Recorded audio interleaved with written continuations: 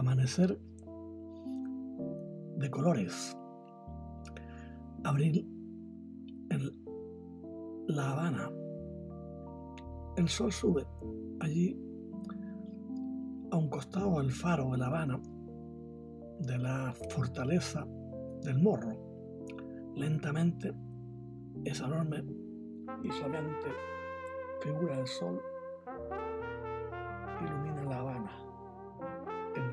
comienza, se ve la gente que camina temprano por el sector del malecón y los vehículos que se desplazan y la música comienza a oírse casi al ritmo del sol.